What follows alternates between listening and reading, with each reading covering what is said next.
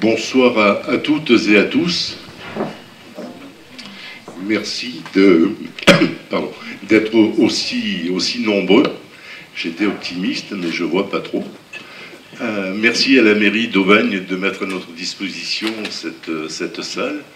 Et puis euh, aussi merci à, à Cométique de mettre à notre disposition les moyens vidéo. Et puis surtout, euh, merci à Alain Badiou, je vais vous en parler davantage tout à l'heure, et, à Anaïs Simon, euh, qui a accepté de modérer euh, cette, cette soirée.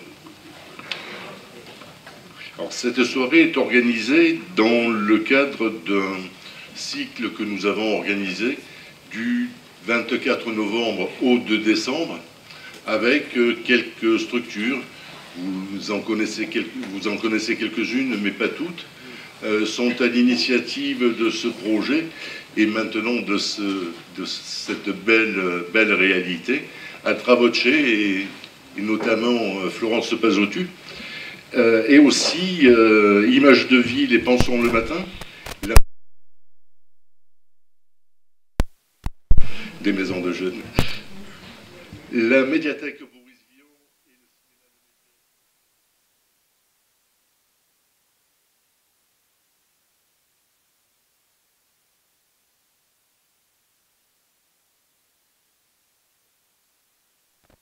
théâtre d'Apt. Après euh, Martigues et Marseille, où nous étions euh, vendredi, samedi et dimanche, euh, nous irons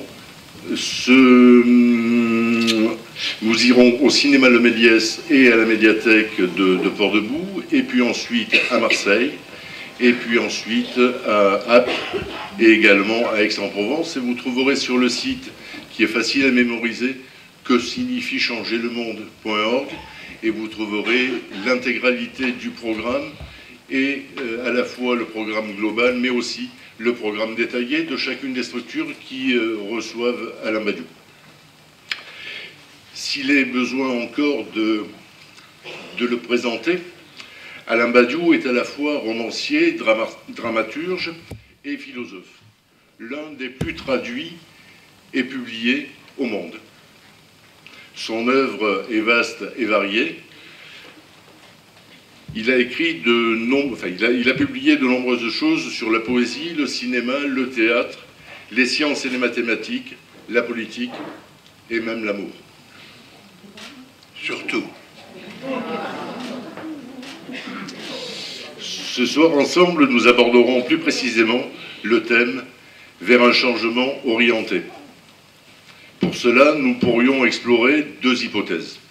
La première hypothèse, c'est que le changement est dirigé par des puissances qui nous sont étrangères, grands architectes, euh, oligarchies dominantes, forces occultes.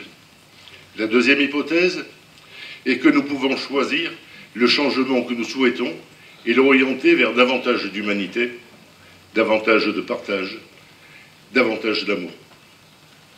Bien sûr, nous pourrions considérer cet exercice comme vain et accepter que nous sommes impuissants face à la pensée unique, aux puissances financières, aux grandes entreprises et aux individus les plus riches qui exacerbent les inégalités, exploitent un système économique défaillant en éludant l'impôt, en réduisant les salaires et en maximisant les revenus des actionnaires. Ou bien envisager que chacun peut et doit choisir sa vie celle qu'il a envie de vivre et surtout, me semble-t-il, celle qu'il a envie de partager en préparant les conditions pour vivre ensemble un monde meilleur. Nous possédons chacun le pouvoir de changer le monde, car nos actions quotidiennes changent le monde que nous, le désirions ou non. Vouloir changer le monde ne signifie pas que l'on pense qu'on le changera effectivement, complètement et rapidement. Il peut sembler utopique, ou tout à fait raisonnable d'affirmer vouloir changer le monde. C'est ce, ce dont va nous parler Alain Badiou. Merci.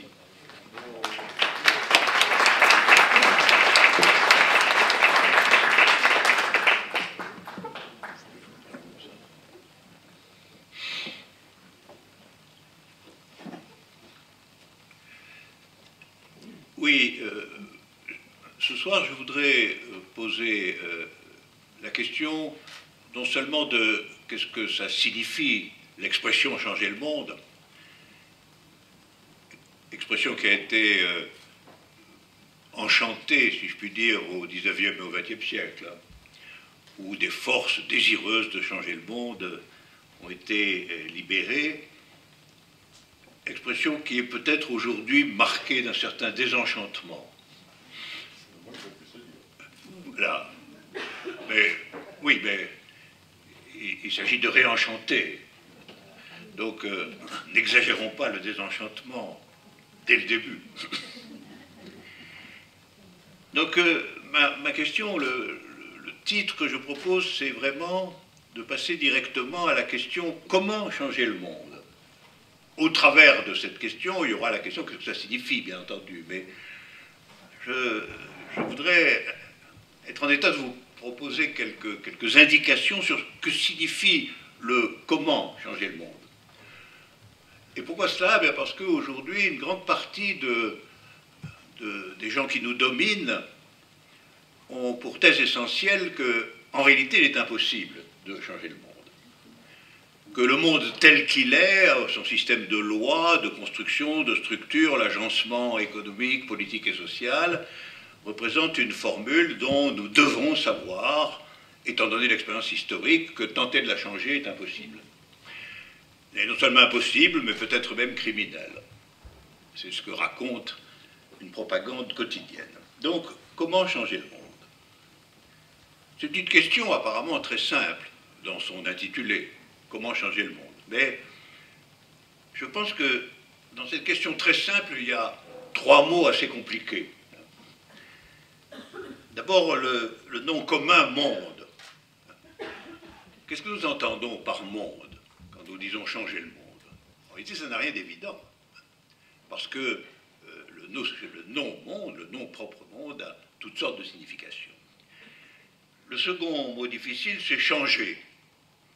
Parce que changer est aussi un verbe assez indéterminé. Changer complètement, révolutionner, modifier, réformer.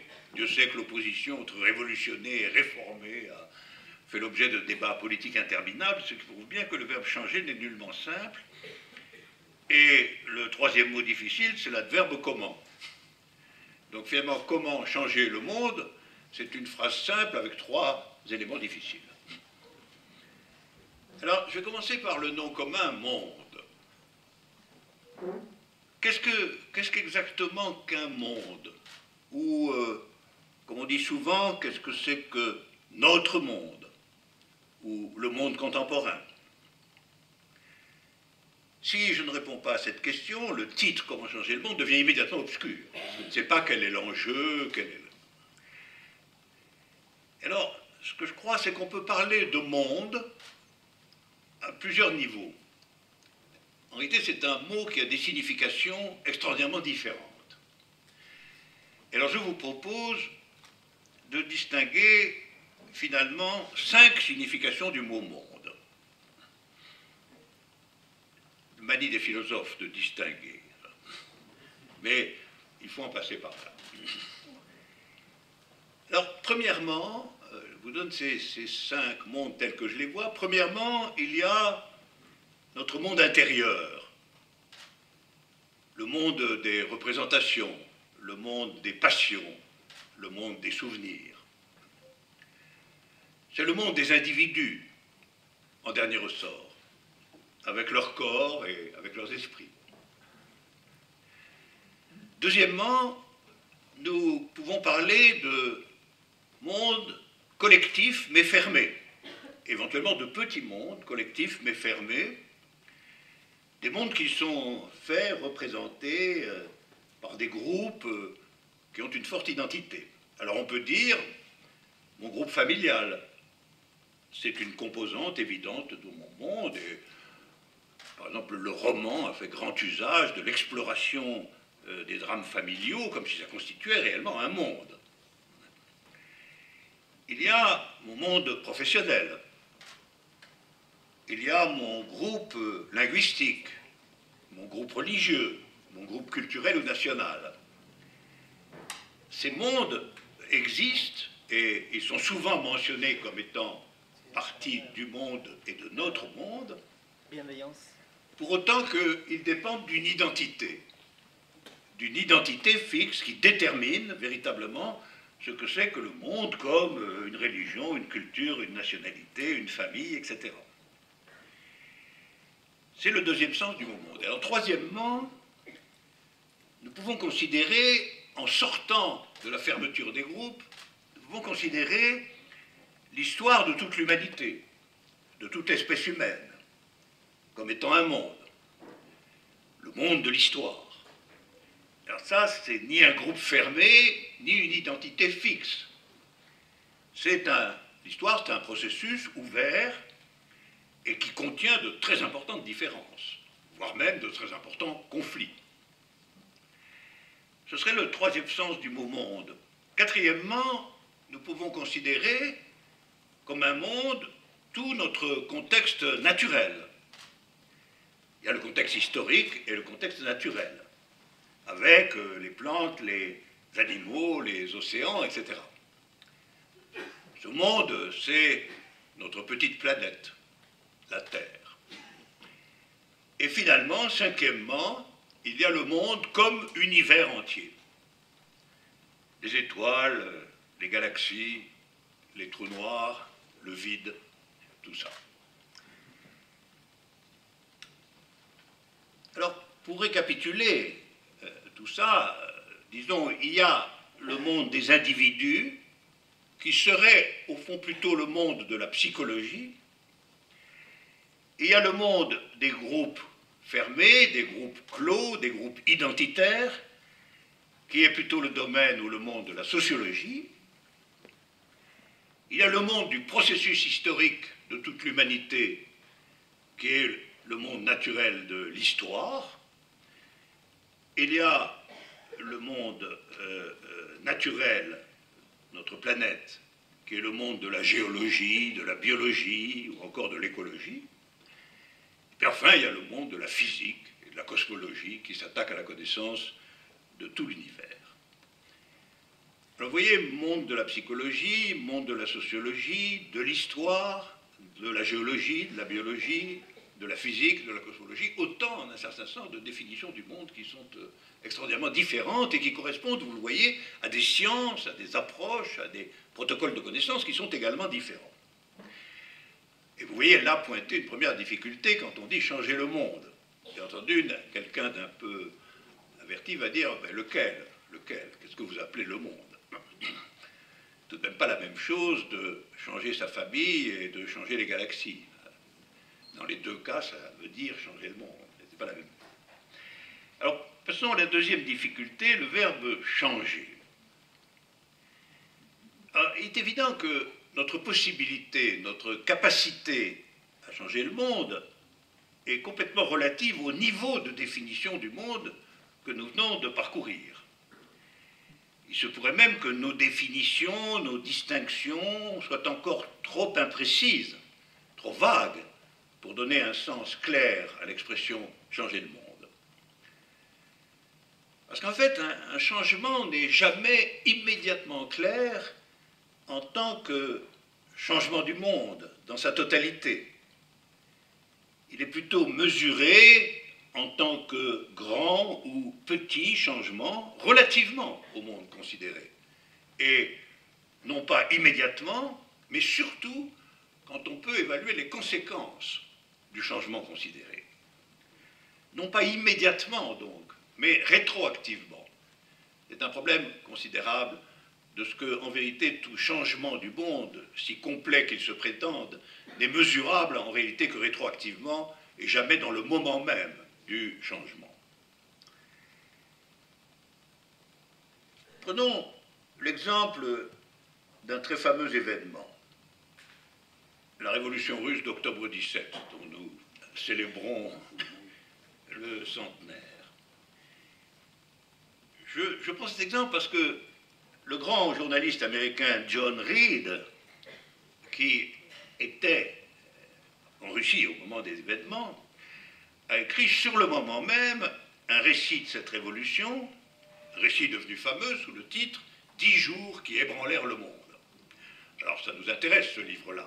Dix jours qui ébranlèrent le monde. Dix jours pour changer le monde. Mais en réalité, c'est qu'aujourd'hui que nous pouvons comprendre la signification complète de ce titre. Changer le monde, dans le cas de la révolution d'octobre. Oui, une partie du monde a été ébranlée, du monde historique et national, a été ébranlée par la révolution russe. Oui, il y a eu d'importantes conséquences de cet événement qui fait qu'on peut sûrement qualifier la révolution russe de changement réel, de changement considérable. Mais au final, notre monde global, aujourd'hui, est dominé par le capitalisme presque exactement comme il l'était dans le monde avant la révolution russe. Nous devons admettre ce point. Et nous pouvons conclure que le plus important changement attesté de caractère politique au XXe siècle n'a cependant été en aucun des sens du mot monde un changement du monde. Alors, euh, cette difficulté, cette fois la difficulté du verbe changer, qui paraît aussi euh, complexe à déterminer que le mot monde, parce qu'il est pris euh, dans la question de la durée des conséquences. À partir de quel moment des conséquences d'un changement attesté peut-on se prononcer sur l'étendue du changement du monde? Exactement comme aujourd'hui, nous savons qu'en un certain sens, la révolution russe on peut considérer qu'elle a changé localement certaines caractéristiques de la société russe, voire certains courants idéologiques du monde, etc., mais que ce qu'elle annonçait comme changement du monde n'a pas été euh, opéré et stabilisé véritablement. Alors, après le mot monde et le verbe changer, qui nous mettent devant de nombreuses difficultés, l'adverbe comment Comment changer? Que veut dire en vérité changer le monde. Alors, au vu de, des difficultés concernant le mot monde, d'une part, sa pluralité de signification, et euh, aussi, euh, en un certain sens, le verbe changer, au vu de sa difficulté temporelle et difficulté de sa mesure, je proposerai de modifier l'expression changer le monde, et comment changer le monde, provisoirement avant d'y revenir,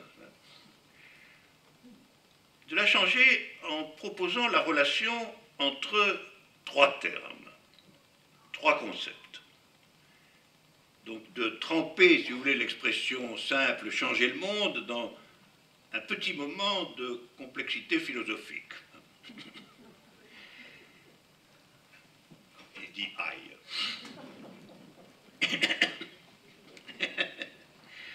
oui. Alors, ces, trois notions que je vous propose sont événements, je l'ai déjà utilisé du reste, réel et conséquences. Alors, je pense que, d'une certaine façon, la question comment changer le monde va euh, être dans l'astreinte d'une combinaison particulière entre événements réels et conséquences que cela nous dira des choses plus précises, en tout cas, que changer le monde. Alors, événement, c'est le nom de quelque chose qui arrive.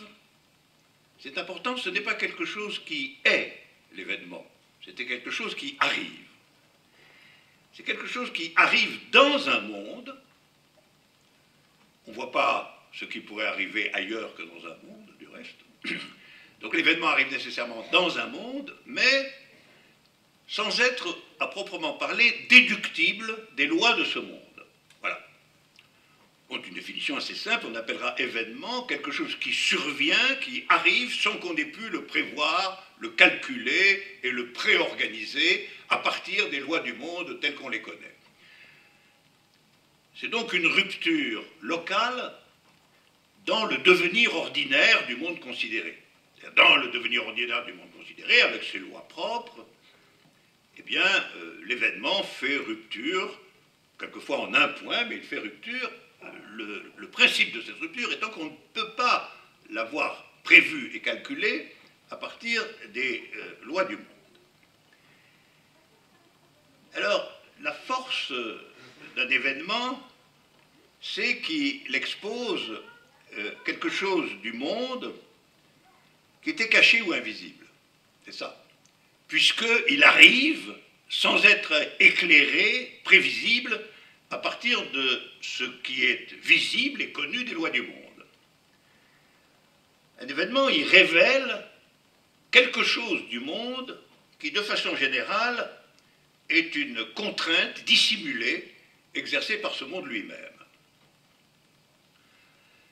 Alors, je, vous donne un exemple très euh, canonique. Maintenant, pourquoi mai 68 en France a été un événement réel? On peut se le demander, d'ailleurs beaucoup de gens euh, le disent. Beaucoup de gens pensent qu'en définitive, rétroactivement, on peut dire mai 68, c'était une histoire euh, du genre libération sexuelle et révolution des enfants contre des parents quelque peu vieillissants.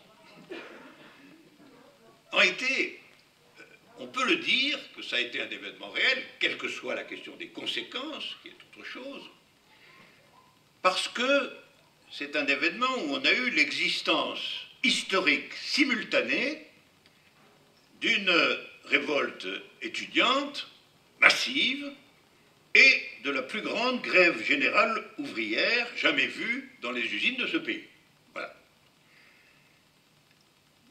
Et au fond,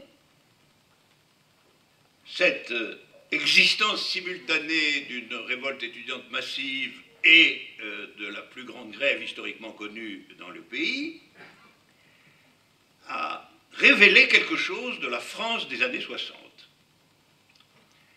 Et en particulier, ça a révélé le fait que le monde conservateur, le vieux monde, avait comme loi de veiller à une stricte séparation entre les jeunes intellectuels et les ouvriers. Le monde, la loi du monde, organisait de façon extrêmement précise cette séparation.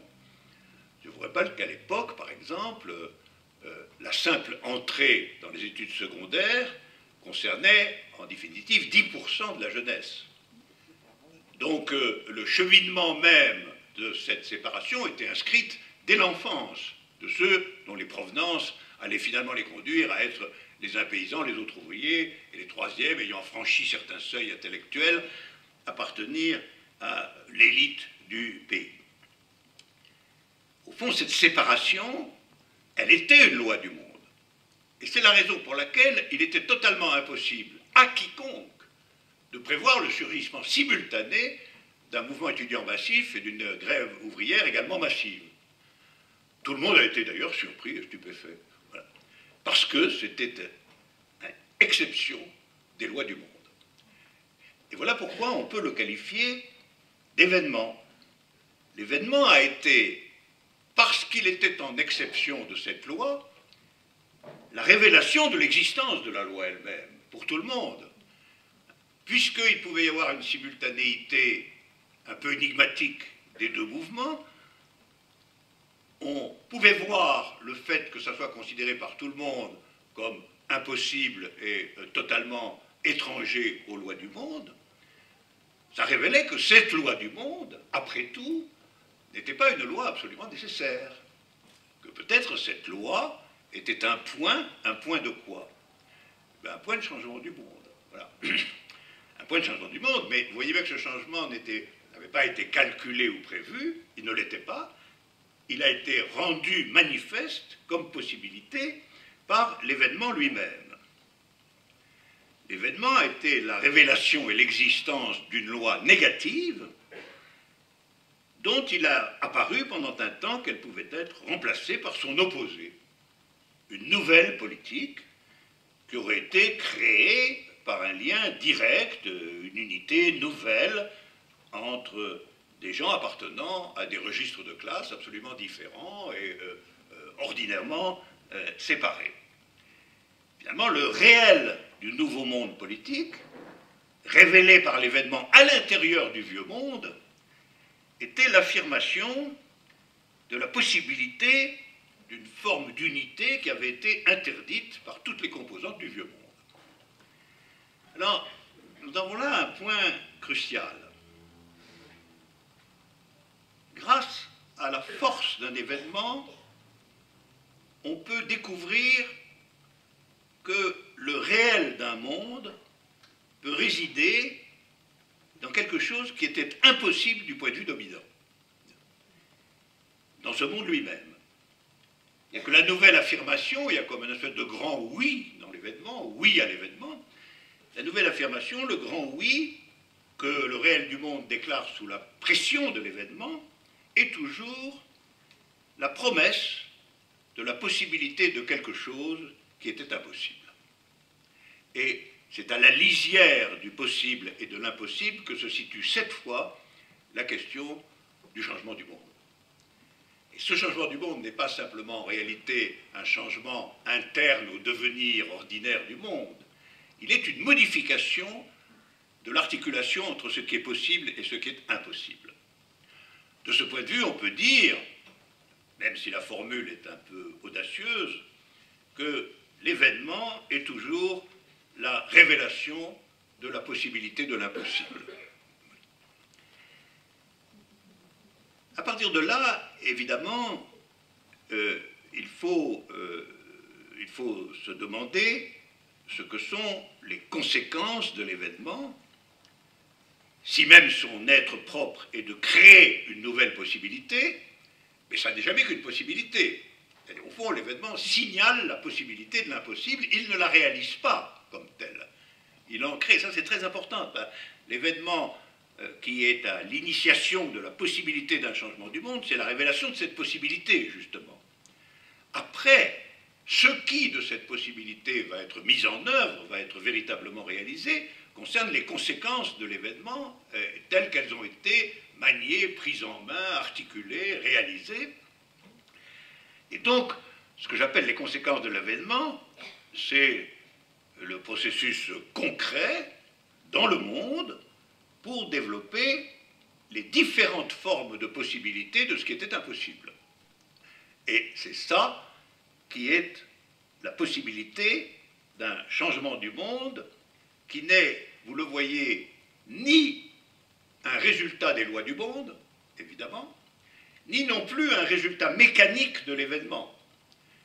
Et donc vous avez à voir trois termes dans cette affaire, toujours, et trois termes dans une articulation difficile. Vous allez avoir les lois du monde, qui en fait définissent un peu pour tout le monde la lisière entre ce qui est possible et ce qui est impossible. Hein. Vous avez l'événement qui propose une possibilité de ce qui est impossible, et puis vous avez les conséquences de l'événement qui sont le processus de réalisation des possibilités préalablement tenues pour impossibles.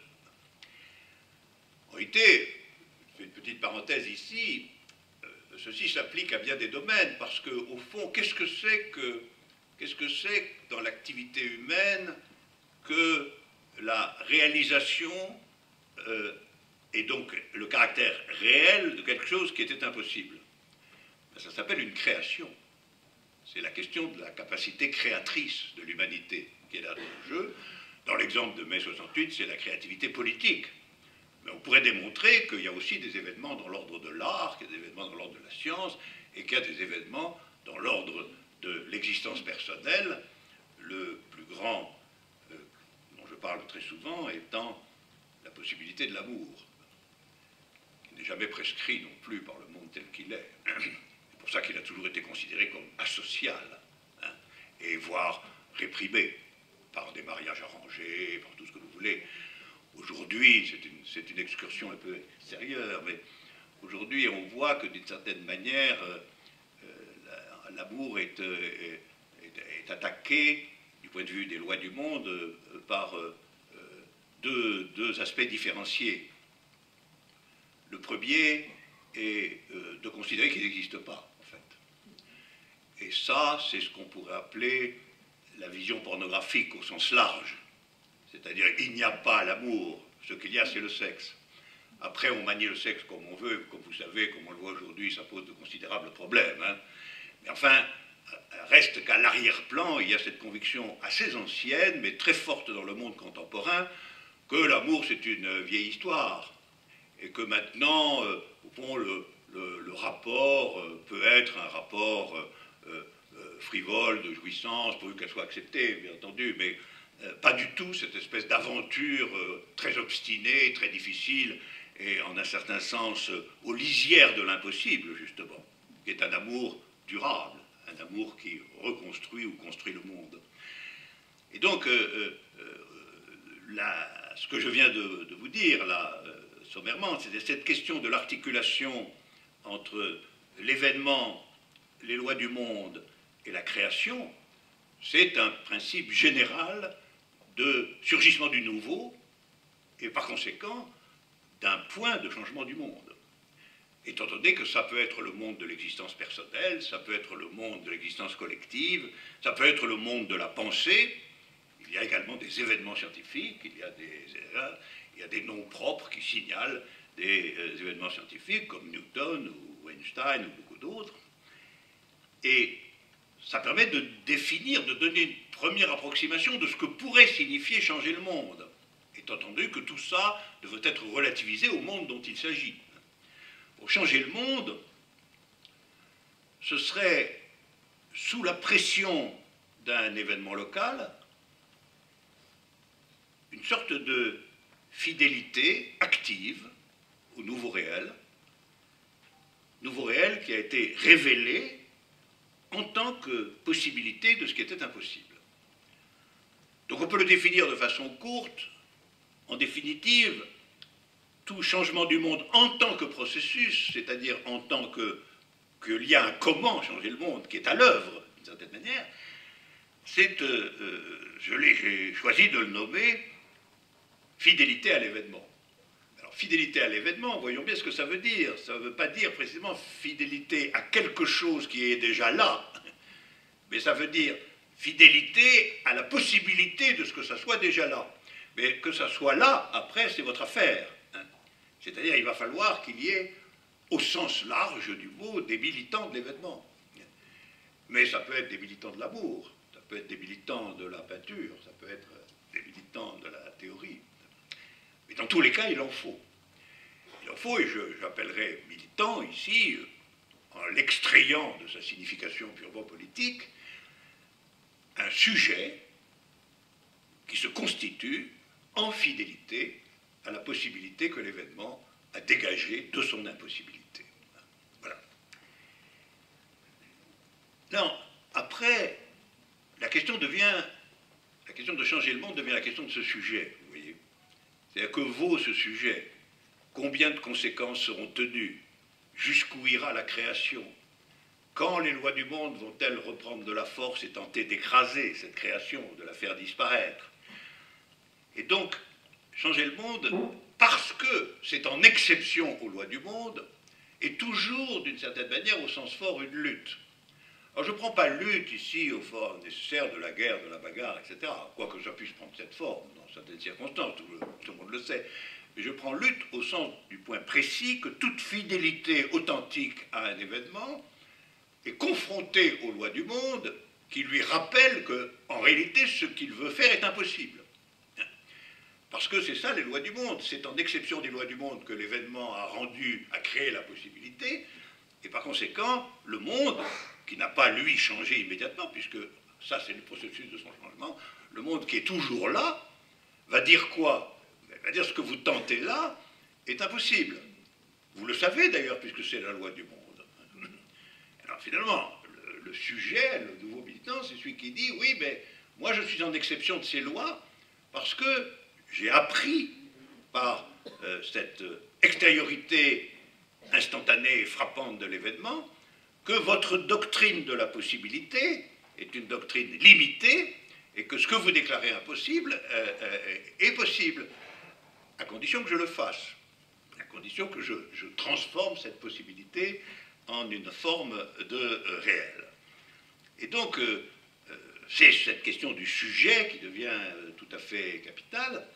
Et en définitive, comme vous voyez, on pourrait dire que les termes les plus plus en tension de cette affaire, C'est d'un côté évidemment le terme événement, et de l'autre le terme sujet.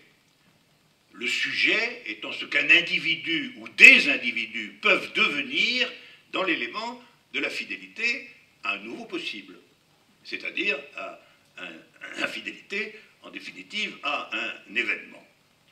Alors si je reprends mon exemple de, tout à l'heure, eh une fidélité euh, à l'événement mai 68, une fois épuisée son actualité immédiate, hein, euh, c'était euh, de se demander ce que pouvait être, au niveau des conséquences effectives, cette possibilité nouvelle de liaison immédiate et réelle entre ce qu'avait été le mouvement étudiant et ce qu'avait été le mouvement ouvrier, donc en fin de compte, entre des jeunes intellectuels en général et des ouvriers, d'ailleurs au début des jeunes ouvriers aussi, euh, parce que la création est toujours ce qui tente la jeunesse quand même. Je le dis d'autant plus volontiers que ce n'est pas mon cas. Mais ça le fut, ça le fut.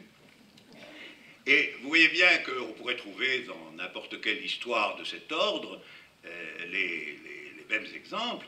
Pour reparler un peu de, l'amour, on peut dire que la question de l'amour, dont l'événement est la rencontre, hein, l'événement inaugural, incalculable, imprévisible, est une rencontre entre deux individus, que l'événement de l'amour c'est ça, que la fidélité amoureuse, c'est pas la fidélité au sens où on l'entend ordinairement, à savoir simplement le fait que je ne coucherai pas avec quelqu'un d'autre. ça peut entrer dans le contrat, mais ce n'est pas le problème. Le problème fondamental de la fidélité, c'est la fidélité à l'événement inaugural qui est celui de la rencontre, en tant qu'il a fait surgir une possibilité de relation de l'autre à l'autre, euh, entièrement nouvelle.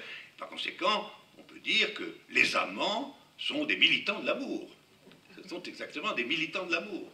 Et on sait que c'est parfaitement aussi difficile, que les lois du monde sont aussi là pour euh, euh, rendre la chose aussi étriquée et limitée que possible, que la dimension créatrice de tout amour est indubitable, et qu'en ce sens, tout amour réel est un apport et une création qui a sa valeur pour l'humanité tout entière.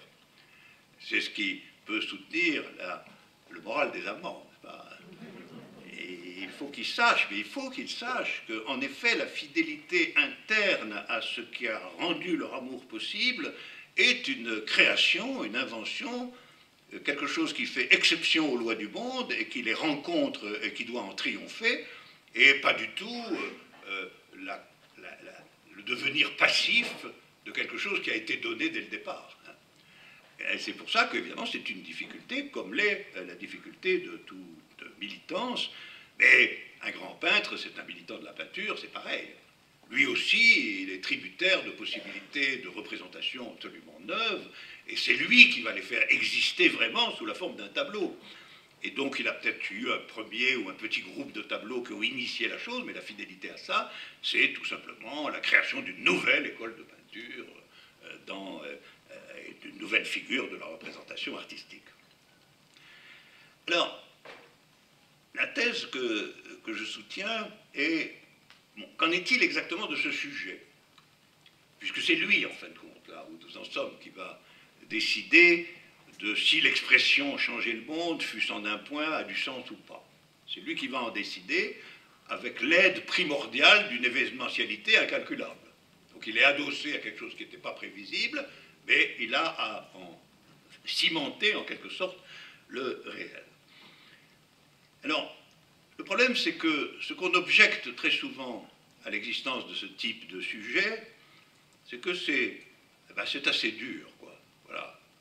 C'est assez dur parce que c'est quand même une confrontation euh, systémique aux lois du monde. C'est pas, euh, on peut préférer une bonne place. Une bonne place dans le monde, ça veut dire une place conforme aux lois du monde et conforme à ce que vous avez pu réaliser de possibilités que le monde vous donnait.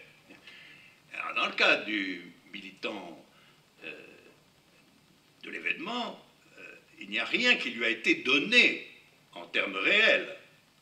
La seule chose dont on lui a fait don, c'est une possibilité universellement tenue comme impossible. C'est avec ça qu'il faut qu'il travaille. Alors effectivement, c'est c'est assez, assez, complexe, assez difficile, et je pense que ça se heurte à deux euh, subjectivités tout à fait classiques que vous reconnaîtrez. La première subjectivité c'est la subjectivité intéressée et arriviste, qui consiste à dire tout ça c'est bien joli, mais moi ce qui m'intéresse c'est ma bonne place dans le monde, parce que franchement être en exception du monde, c'est pas ma tasse de thé. Hein.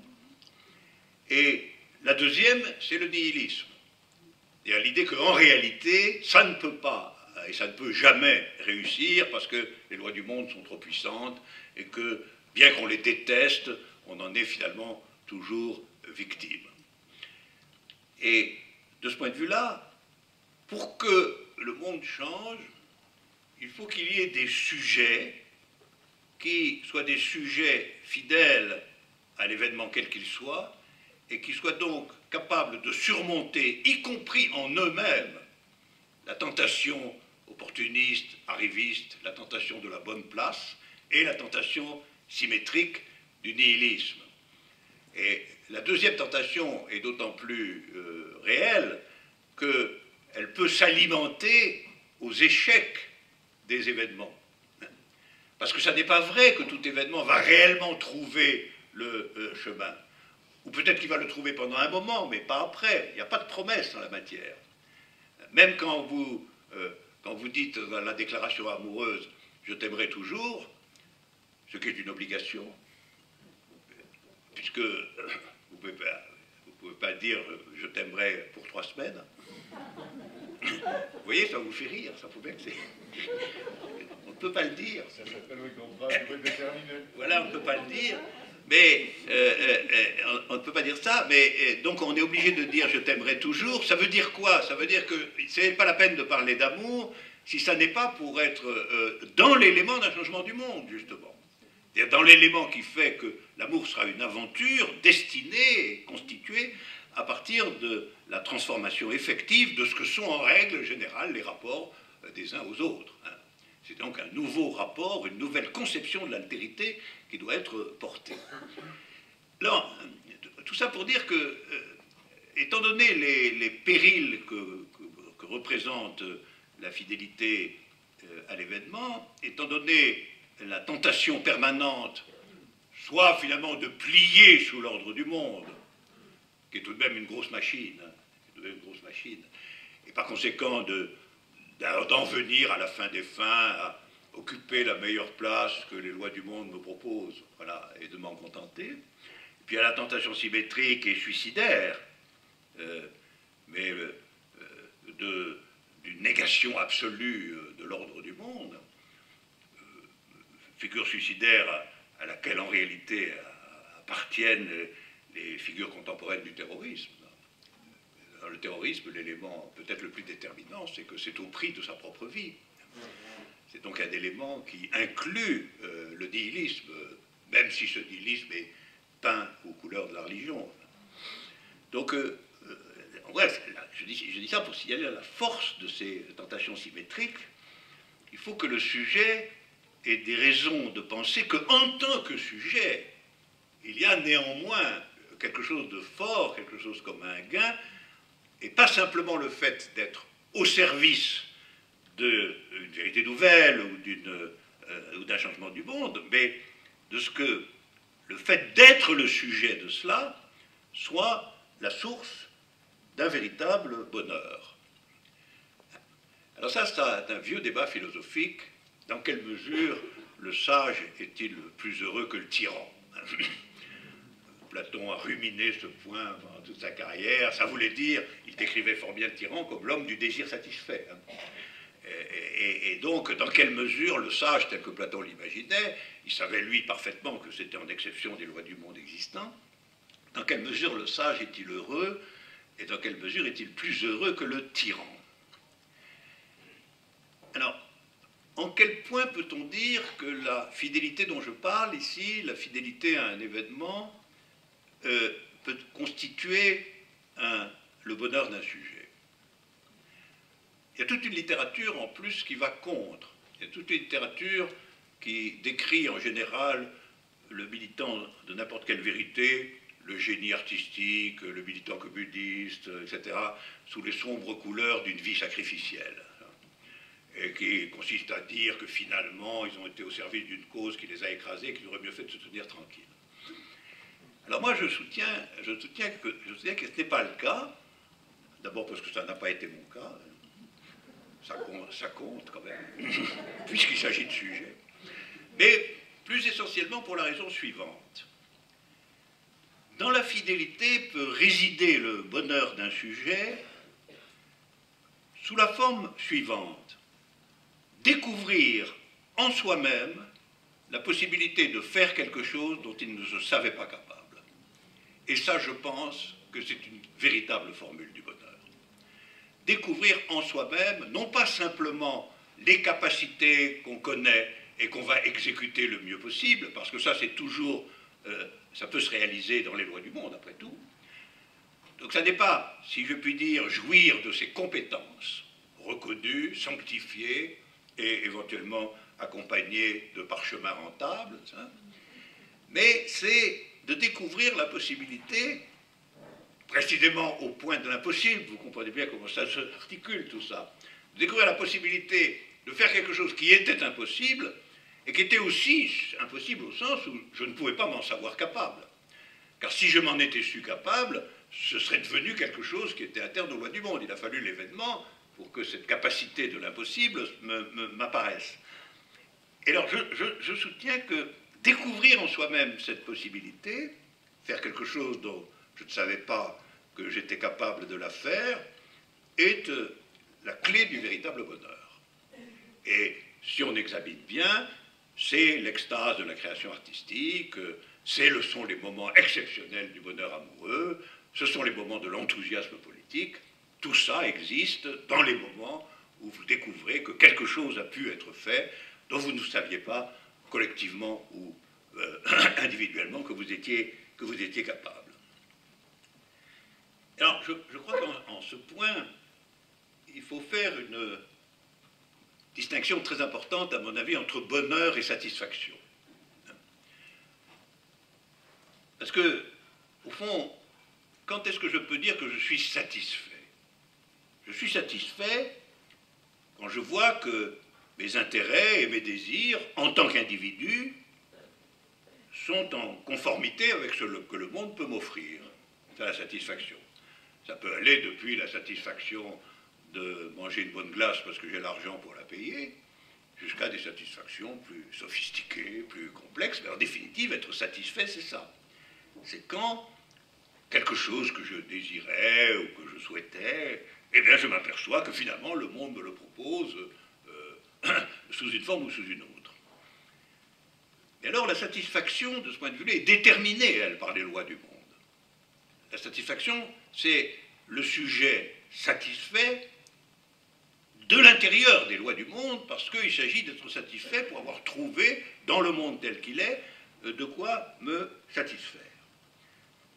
Finalement, la satisfaction, c'est une sorte d'expérience d'harmonie entre mon moi et les lois du monde. C'est-à-dire, c'est une manière de me trouver bien dans les lois du monde. C'est pas toujours, on n'est pas toujours satisfait, hein, c'est vrai. Mais quand on est satisfait, c'est ça.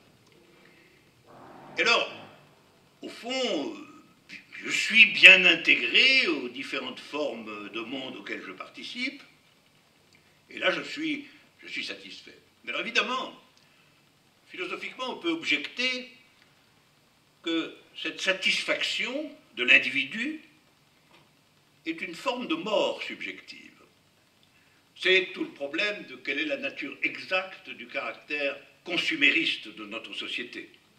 De quoi s'agit-il quand la satisfaction et la satisfaction de consommer les produits qui sont sur le marché, satisfaction qui est la satisfaction majeure dans le monde capitaliste tel qu'il est.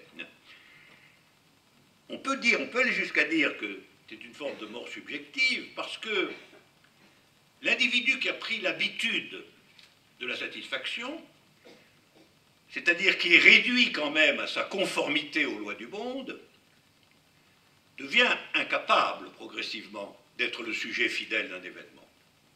C'est ce qu'on peut appeler la corruption.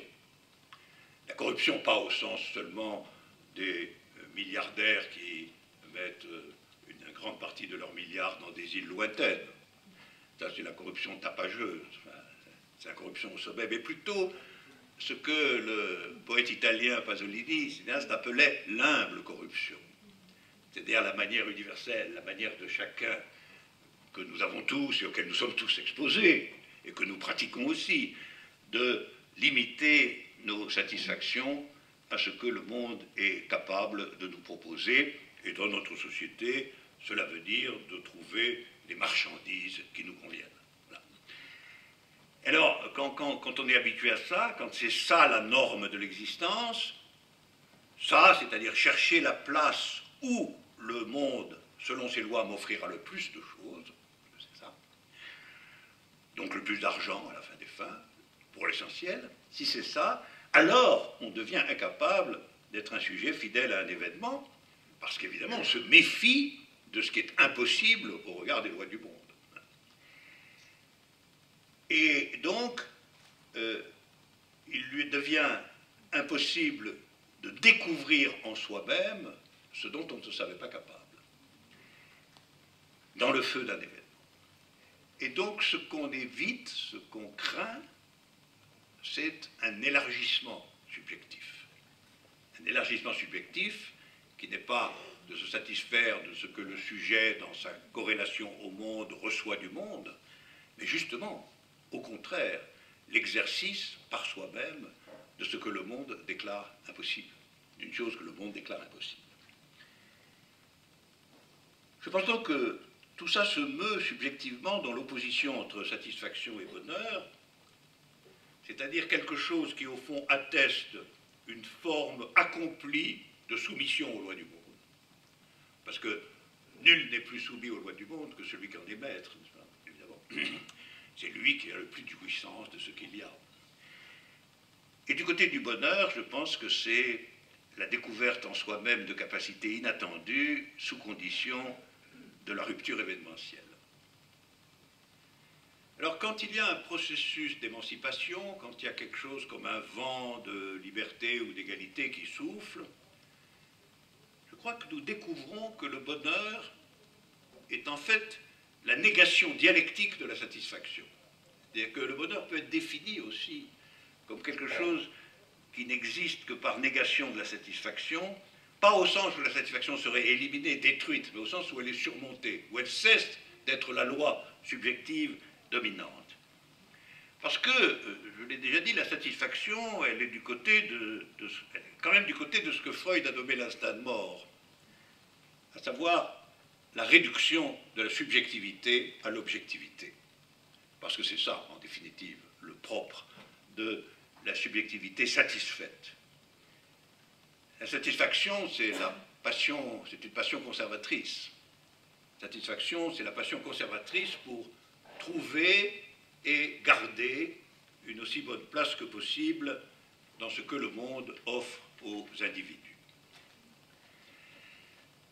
Alors, parvenu à cela, nous pouvons retourner à mon titre, Comment changer le monde La réponse peut être en devenant la part subjective des conséquences d'un événement local. On peut dire aussi être fidèle à un événement en créant, c'est souvent le cas, un rapport nouveau entre liberté et discipline. Parce qu'aucune création ne peut se satisfaire de l'indiscipline absolue, qui est en réalité toujours nihiliste, en dernier ressort parce qu'elle n'est pas dans l'ordonnancement de la création. On peut aussi dire, en inventant une nouvelle forme de bonheur, qui est une victoire sur la dictature de la satisfaction et le pouvoir de l'instinct de mort.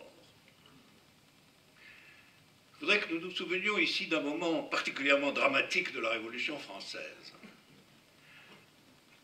Dans ce moment, euh, Saint-Just, un des plus grands acteurs et penseurs de la séquence politique de la Révolution, a dit Le bonheur est une nouvelle idée en Europe. Cette formule est saisissante parce qu'on peut imaginer que le bonheur était une des plus vieilles idées euh, du monde, en Europe ou ailleurs. Et justement, Saint-Just disait cela du point de vue de la subjectivité révolutionnaire, c'est une nouvelle idée. Et nous savons, je crois, donnant raison à Saint-Just, que nous savons que quelque chose est comme un changement du monde, ou est en train de changer dans le monde, quand nous faisons l'expérience de ce fait, que le bonheur n'est pas le but prédéterminé du processus de changement, mais qu'il est ce qui est créé, ce qui est subjectivé, ce qui est constitué dans le processus lui-même. Exactement comme le bonheur amoureux n'est pas le résultat de l'amour, il est l'amour lui-même.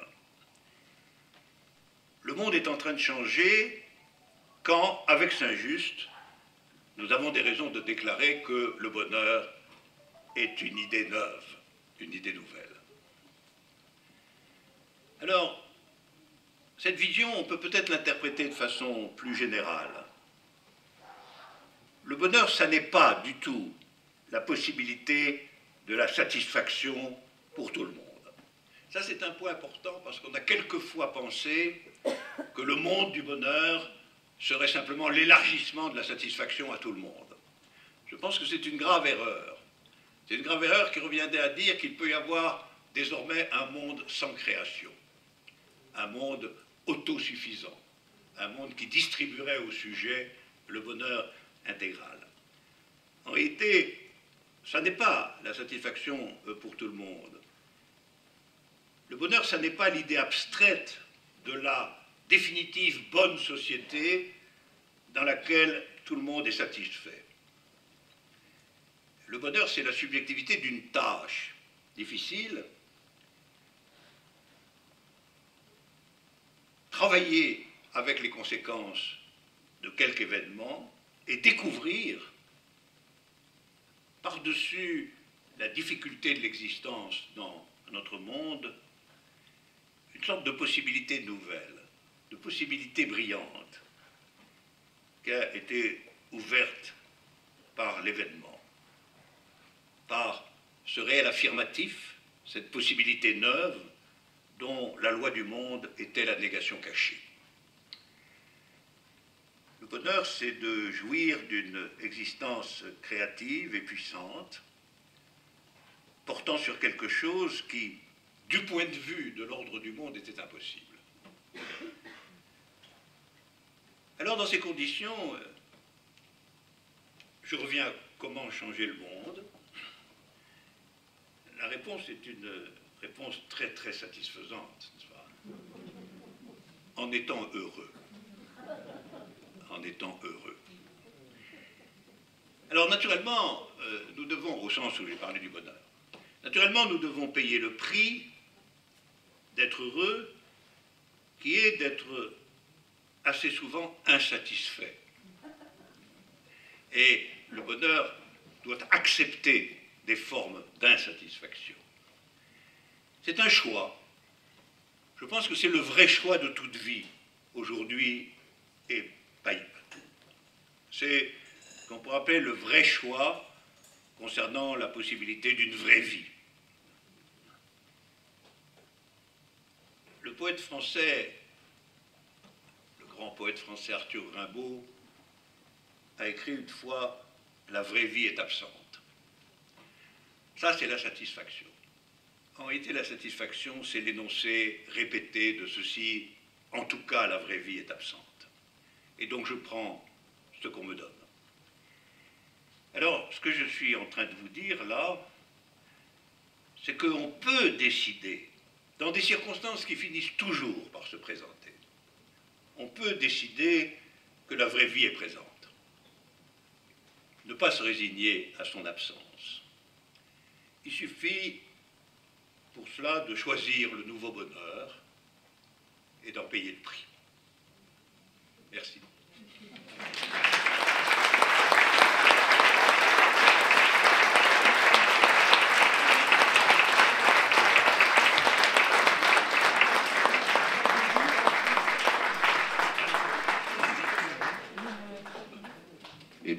Vous allez pouvoir euh, interroger, questionner, disputer Alain Badiou. Si ces propositions ne vous conviennent pas, dites-le lui vivement. ce soir, euh, ce soir, il nous a pas montré euh, qu'il était toujours un militant de l'hypothèse communiste qu'il porte depuis, euh, depuis toujours. Mais je, je suis certain qu'il n'en fera pas l'économie. Un micro circule, donc levez le bras et je, je vous le ferai apporter.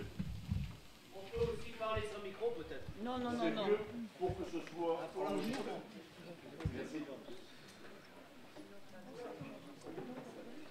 Euh, Monsieur Badiou, j'ai beaucoup de questions, mais je vais vous en poser euh, trois. La première, c'est uniquement euh, pour ma compréhension. Euh, D'après vous, existe-t-il des événements au sens où vous avez, vous avez défini ce concept dans le monde physique? Pas, pas dans la science physique, mais dans le monde physique. Parce que vous avez pris des exemples d'événements qui concernent les activités humaines. hein. Et euh, ça me donne l'occasion de la deuxième question. Euh, vous avez dit que l'événement, c'est ce qui rendait possible l'impossible. Euh, est-ce qu'on peut aller jusqu'à dire que ça rend visible ce que l'impossible cachait? Et je pense que ça n'a pas tout à fait la même signification, parce que ça veut dire que dans le monde ancien, avant l'événement, l'alternative était déjà là. Hein, le, le possible occulté était déjà là. Et puis la troisième question,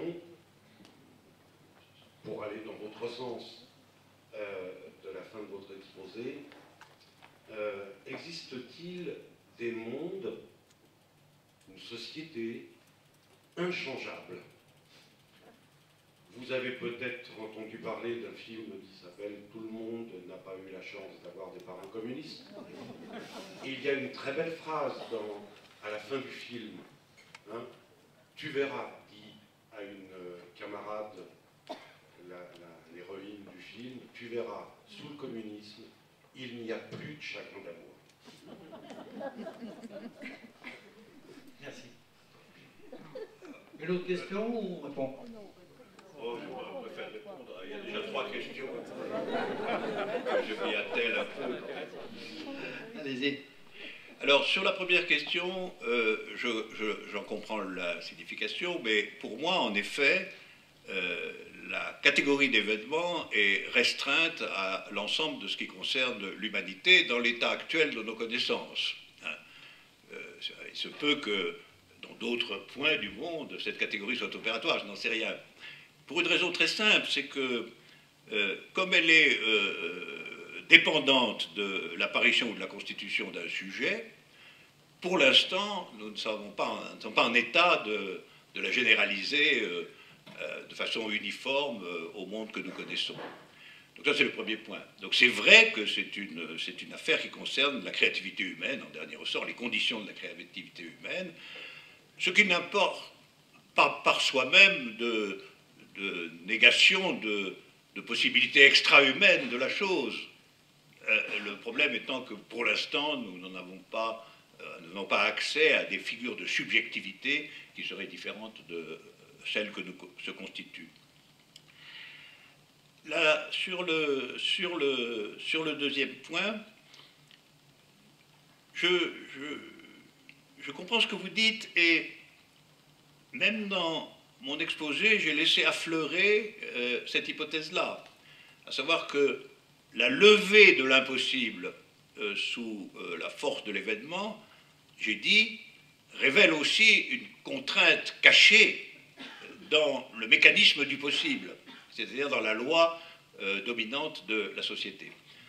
Alors je pense que les deux hypothèses ne sont pas contradictoires. Je pense que d'une certaine manière, la levée de l'impossibilité concerne une part affirmative qui est la création d'une nouvelle possibilité, que cette possibilité, sans aucun doute, pour part la négation de la contrainte cachée que l'impossible dissimulait, hein, qui était déclarée impossible, mais parce qu'en réalité elle était opératoire, mais qui ne peut pas se limiter à être une négation. Alors ça, ce serait euh, une autre, une autre euh, strate de l'exposé, qui concerne, dans la question de l'événement et plus généralement dans la question de la création, quel est le rapport exact entre négativité et, affirmation. C'est le, le, cœur dialectique, si vous voulez, de la question. Et je pense que dans la catégorie d'impossible, euh, on a en effet, et de la relève de la catégorie d'impossible, on a une dialectique entre les deux. C'est-à-dire, il y a, il y a à coup sûr la révélation de quelque chose de négatif caché sous l'impossible, mais il y a aussi la proposition d'une possibilité hétéronome euh, aux lois du monde. Voilà. Donc je, vous propose une synthèse.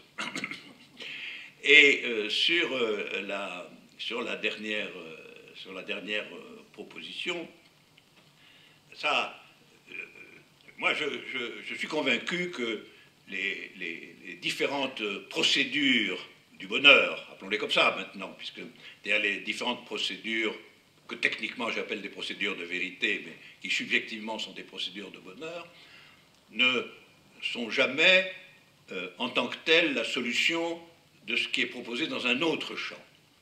C'est-à-dire que la politique et l'amour, c'est pas la même chose. C'est pas la même chose, et on pourra toujours dire que euh, euh, qu'à certains moments, il y a des croisements, il y a des intersections, etc. Ça n'est pas, pas la même chose. Ça n'est pas la même chose. la, vision politique concerne le destin du collectif comme tel, et l'amour concerne deux personnes. Et, il m'est arrivé d'appeler l'amour le communisme minimal. Mais euh, cette minimalité en fait quand même quelque chose d'un peu différent. fait quelque chose d'un peu différent. Même si quelquefois on peut avoir le sentiment qu'il y, a, des drames dont, la, dont la structure est vaguement la même. Mais ça, on serait reconduit en fait à la structure générale que je vous ai proposée aujourd'hui. Et de toute façon, il y a rencontre événementielle, il y a incertitude, il y a quelque chose qui n'est pas immédiatement conforme aux lois du monde, etc. Alors, ça crée des ressemblances. Mais enfin, de même que, euh, de même que, la, que la science comme telle euh, n'est pas réductible à la politique, on le sait bien. Hein. Les tentatives de créer une science prolétarienne n'ont quand même pas euh, été victorieuses. Hein. La, science, c'est la science dans son domaine propre, il n'y a rien à faire. Et la création artistique de même. Donc je pense que, je pense que réellement, il y a des, des domaines euh, euh, dans lesquels la, procédure est la même, c'est-à-dire il y a quelque chose d'événementiel, il y a quelque chose qui touche au, au réel dans la figure de l'impossible, euh, il y a quelque chose qui demande une fidélité, une ténacité, une discipline, mais ce sont des formes tout ça, ce sont des formalismes. À la fin des fins, effectif, c'est intrinsèquement différent, et les subjectivités sont différentes. Et ce ne sont pas non plus, je dirais, les mêmes bonheurs.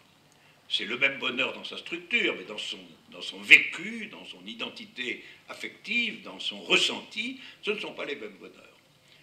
Alors j'ai cherché, je train encore de chercher, de faire une analytique des bonheurs possibles dans leur différenciation. Voilà.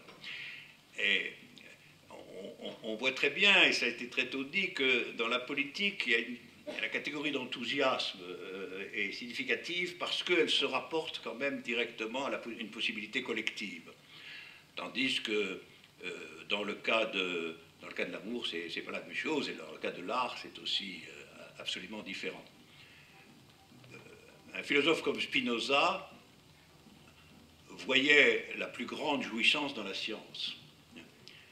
Et il pensait que quand on avait une idée adéquate,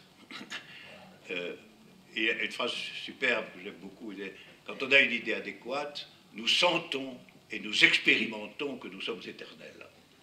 Ça, c'est un bonheur, quand même, hein, de sentir et d'expérimenter que nous sommes éternels. Mais je pense que, ce faisant, lui-même parlait à la fin des fins d'une dimension de tout bonheur.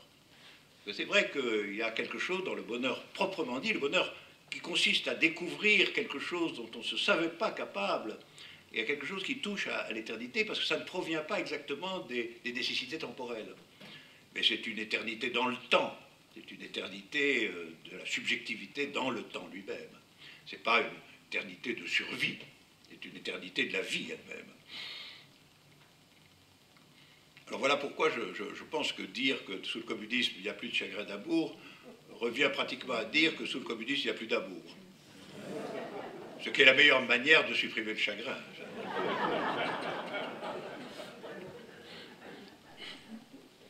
Il y avait d'autres questions? Là, deux. Il y en avait une derrière? On va commencer par là.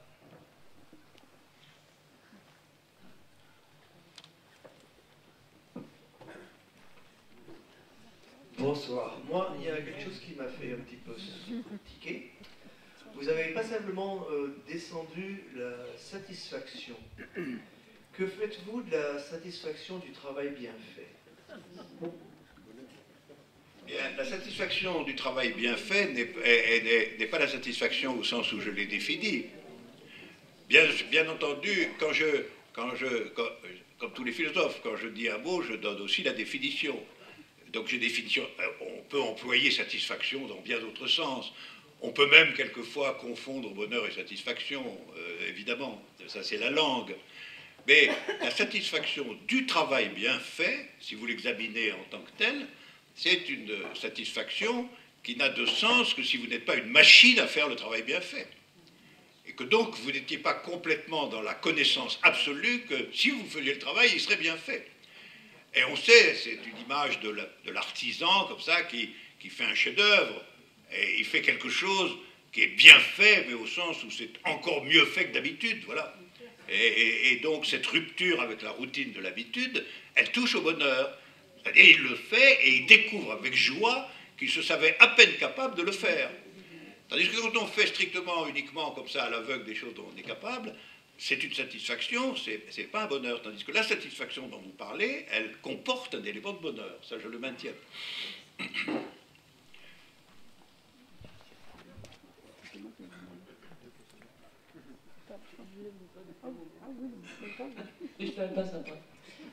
Euh, je crois que dans cette salle, on est un certain nombre, en tout cas c'est mon cas, euh, à avoir euh, la plus grande partie de notre vie euh, derrière nous plutôt que devant.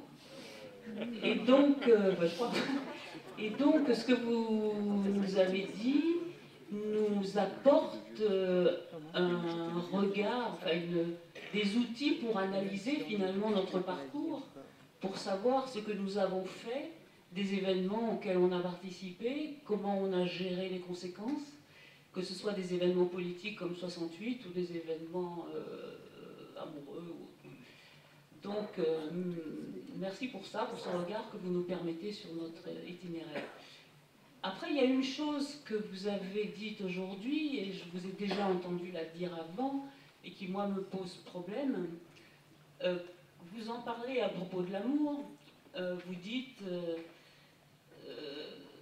je t'aimerai toujours est une proposition nécessaire.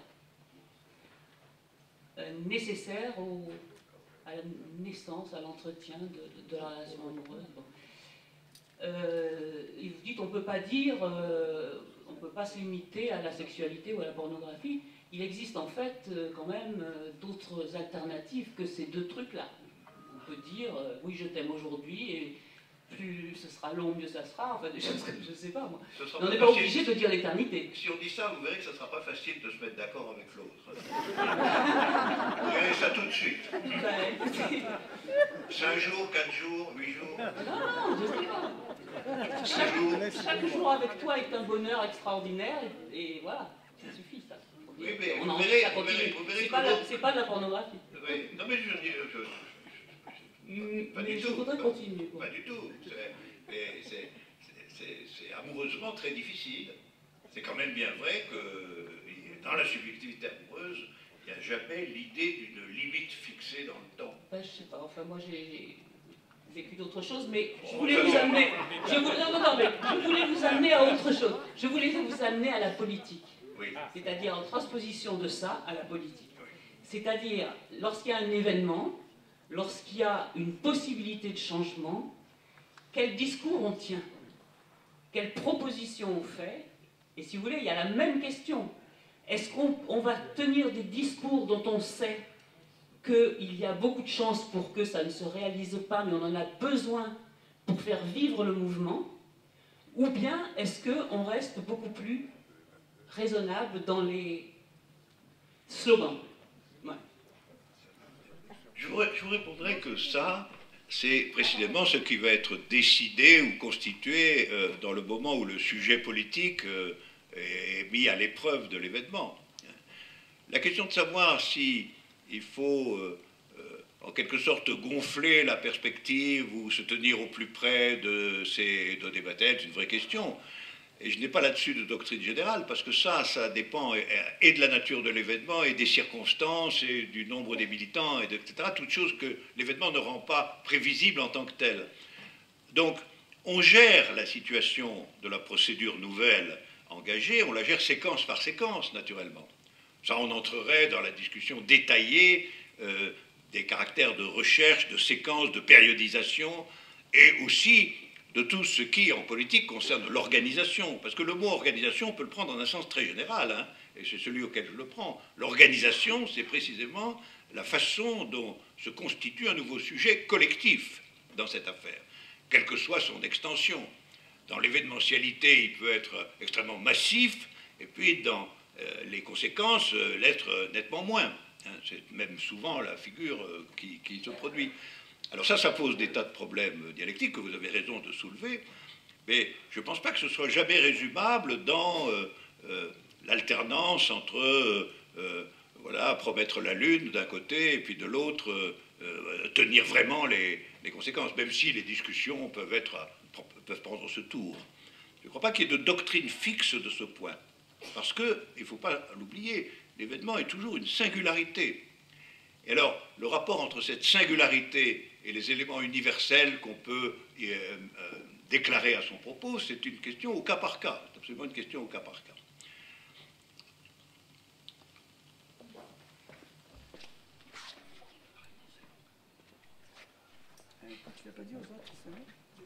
Euh, bonsoir, merci. Quand je vous écoute, je suis presque proche du bonheur.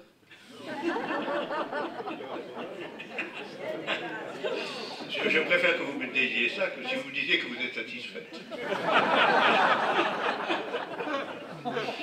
Non, euh, vous avez pris au niveau événement, vous avez pris mai 68. Je le comprends très bien, puisque vous avez été un militant actif en mai 68. Euh, moi, j'étais un petit peu plus jeune. Mais pour moi, l'événement qui a marqué euh, les dispositions humanistes, je dirais, c'est la guerre d'Algérie. Pour moi, ça a été un événement euh, euh, qui m'a fait comprendre, comme vous disiez tout à l'heure, de quoi j'étais capable, jusqu'où je pouvais aller. J'étais jeune, on était nombreux, on allait se coucher sur les rails à Marseille pour que nos jeunes ne partent pas à la guerre. Et on avait 16 ans, 17 ans. Et à partir de ce moment-là, je me suis dit, tu ne baisseras jamais la tête devant qui que ce soit. Et la fidélité, pour moi, c'est ça c'est qu'à ce moment-là, j'ai pris conscience, et on a été nombreuses, c'est pas que mon cas, mais euh, mais 68, on n'a pas vécu comme un événement, on a vécu comme une suite normale de l'après-guerre. Donc on était, je n'étais pas étudiante à l'époque, je commençais déjà à travailler, mais la jonction étudiant-travailleur s'est faite très vite, très très vite. Et du bonheur, il y en a eu beaucoup. Il y en a eu beaucoup, parce que l'altérité, c'est important. Reconnaître l'autre, échanger avec l'autre, euh, sans se disputer, si possible. Écouter l'autre, comme je vous ai écouté. Mais voilà, c'est pour ça que je disais, moi, pour moi, pour beaucoup de, jeunes de l'époque, la guerre d'Algérie est un événement fantastique. Et les événements qui ont suivi après dans toute l'Europe, euh, les colonels en Grèce, le Chili, tout ça, on était très politisés quand même, très très politisés à cette époque-là. Et alors après la question du bonheur, moi je me suis toujours posé la question, qu'est-ce que c'est le bonheur? Pour moi c'est fugitif, il y a des moments comme ça. Et puis après, ben, on a fait des choix de vie, on traverse des moments difficiles, et on les assume. Moi je dis, celui qui choisit un chemin, il faut qu'il aille jusqu'au bout. Il ne faut pas qu'il s'arrête parce ah, c'est difficile. Non, non, tu dois aller jusqu'au bout. Quelles que soient les difficultés. Moi, j'étais militante anarcho-syndicaliste. Et je vous dis que ça n'a pas été facile tous les jours. Ça n'a pas été facile, y compris avec les amis de la CGT et compagnie. Hein. Ça a été très compliqué. Au niveau du travail, ça a été très compliqué. Mais après, quand on est arrivé à avoir des moments d'entente, de. Ah, voilà. On n'était pas heureux, on était contents. On était satisfaits. Merci pour ce témoignage. Après, le- vous n'avez pas séparé du consumérisme, et moi je crois que c'est ça le plus gros danger pour la jeunesse d'aujourd'hui. Le plus gros danger, c'est le consumérisme. Redire au Foucault. Oui, c'est juste une petite ponctuation. En réalité, la guerre d'Alger a joué pour moi à peu près la même, le même rôle que pour vous. C'est effectivement le début d'une subjectivation, mais avec cette difficulté que dans le cas de la guerre d'Algérie, on ne sait pas exactement ce qu'est l'événement en tant que tel. Parce que, bon, il y a la guerre de libération nationale, qui est un événement historique de très considérable, mais notre mobilisation à nous, elle n'était pas directement euh, euh, en même, interne au peuple algérien. Elle, a été, elle s'est largement constituée contre la guerre, tout d'abord. Et ensuite, elle a créé ses propres événements, finalement, à l'intérieur de cette opposition. Maurice, micro. Qui, qui veut intervenir?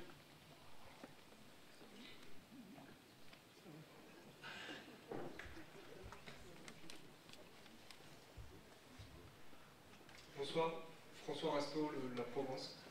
Euh, j'a- J'avais juste une question, peut-être effectivement, changer le monde est une, une dimension qui est largement partagée dans cette salle ce soir, mais c'est peut-être pas une dimension universelle.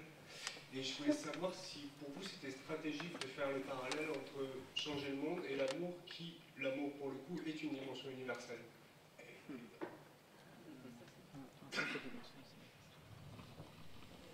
C'est-à-dire, vous me demandez, au fond, quelle est la différence d'universalité entre les propositions politiques et les propositions amoureuses?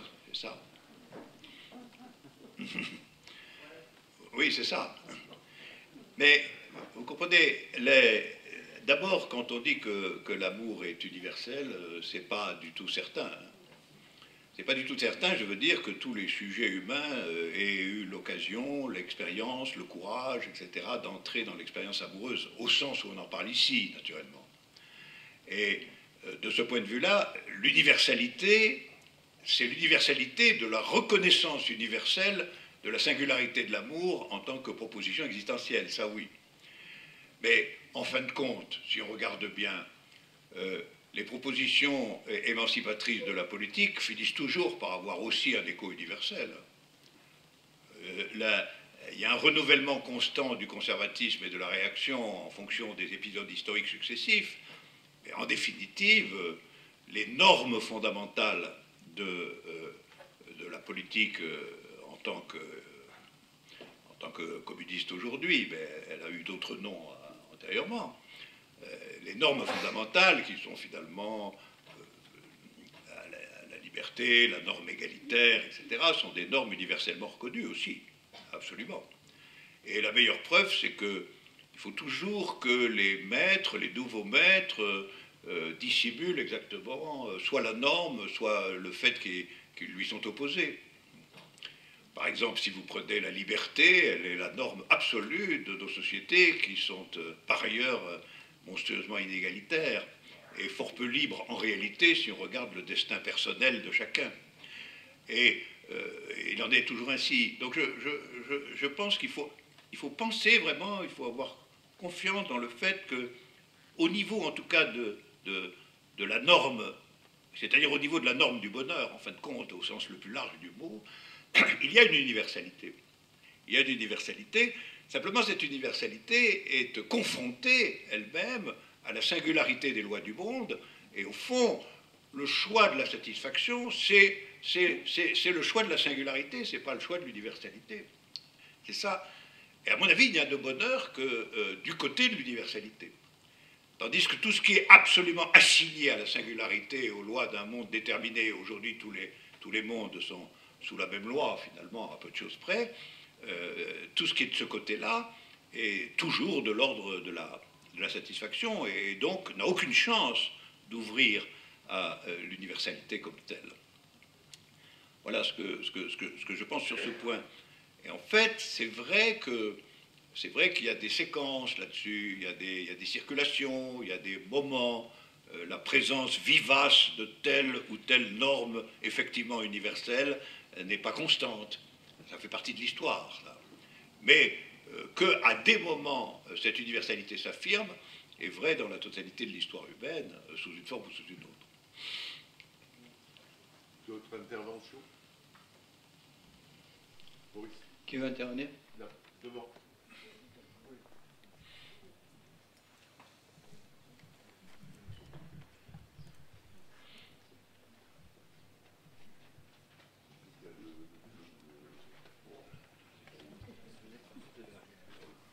Oui, j'avais préparé une question qui avait plutôt trait à votre dernier ouvrage, Éloge de la politique, mais je pense qu'au fond, on n'en est pas si loin que ça.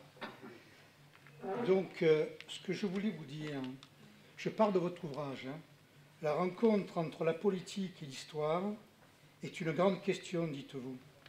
La politique euh, ne devient à proprement parler historique que dans des circonstances exceptionnelles.